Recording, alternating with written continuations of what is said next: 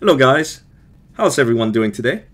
In this tutorial, we're going to learn how to detect when a keyboard key or a mouse button is pressed and held down. To get started, let's go to our starter player, starter player scripts. We're going to add a local script. In your local script, just enter the following lines. On the first line here, I'm declaring my user input service. I'm gonna need that user input service to detect when a mouse button or a key is pressed. Here I have a while loop. It's an infinite while loop with a task wait of half a second. On the next line here, we're using the is key down function of the user input service to detect when a key is being held down. When a key is being held down, this value here is going to return true Otherwise, it's going to return false. So when this value is true, we know the key is being held down. Which key? It is this key right here, enum.keycode.e. That is the E key on your keyboard. So when the E key is pressed and held down, we're going to print a message. E key is held. Let's now play and take a look. I'm gonna need to open up my output window. Right, so right now we have nothing inside the output window. And I'll turn around. Now if I'm gonna press the W key, nothing happens, right? R key, nothing happens. A key, D key, nothing happens. But if I press and hold down the E key, you can see the E key is held down. And it's printed multiple times because we're printing it every half a second. But let's say if I just press it now without holding it down, nothing happens. Do it again, nothing happens. Until I press and hold it down, and you see the count is going up, means it's printing another statement. E key is held.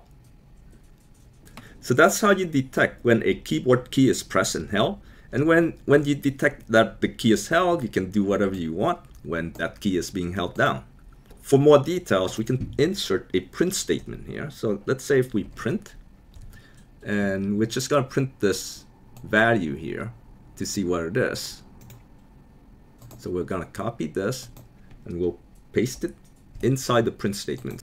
We're just printing is key down to see what value it has. So basically, if you're not doing anything, if you're not pressing the key, it's going to return false. If you're pressing the key and hold it down, it's going to return true. Let's play and take a look. So we expect to see a lot of printed statements here. See, everything is false right now. You see the false statement is printed every half a second. But when I press a key, let's say if I press the R key and hold it down, nothing happens. But if I press the E key and hold it down, you see, now it's starting to print true and E key is held down until I release the key and it prints false again. Right, so that's basically how you detect when the keyboard key is pressed and held. Next, we're gonna see how can we detect when a mouse button is pressed and held. So we're gonna remove all these. Those are for the keyboard keys. We're gonna replace it with these. The concept is the same as the keyboard keys, but instead we're gonna use this mouse button press here. Again, this whole thing here is going to return a boolean value. It's going to be true or false. It's going to be true when the mouse button is pressed and held. It's going to be false when the mouse button is not pressed. When we detect that the mouse button is pressed and held, in this case specifically, it's going to be the mouse button 2. So it's going to be the right click that is pressed and held. We're going to print right mouse button is held. And let's insert a print statement here, just as we did before. So I'm going to print the value of this function, I'm going to insert that into the print statement. Let's play and take a look. So we expect to see all false printed. It printed false over and over again. Every half a second it prints another false statement because I'm not pressing anything yet. If I press and hold the left mouse button here, nothing happens.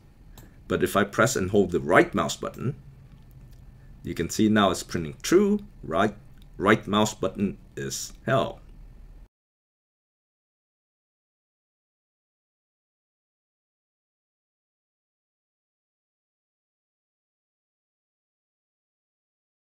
So there you have it guys, that's how you detect when a keyboard key is pressed and held or a mouse button is pressed and held.